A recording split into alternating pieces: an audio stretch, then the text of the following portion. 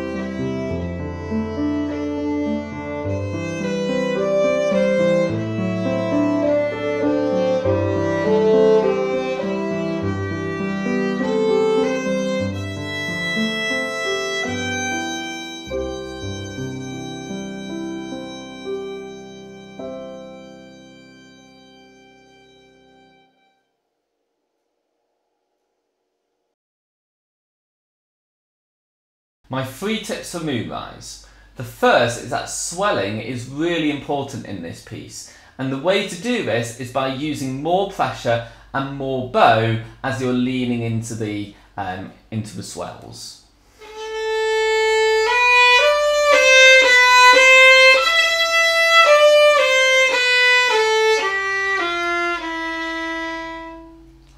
My second tip is that you want to keep the bow glued to the string at all points in this piece in order to sustain those lines.